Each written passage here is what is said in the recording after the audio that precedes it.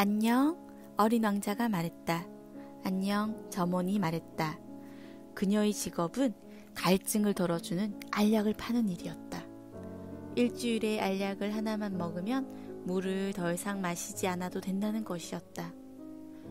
이 약을 왜 팔아요? 시간을 많이 절약해 준단다.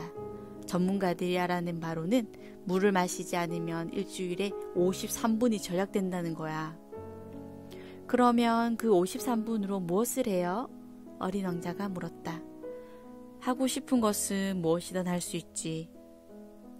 만약 내게 53분이 남는다면 아주 천천히 샘으로 걸어갈 텐데. 어린 왕자는 생각했다.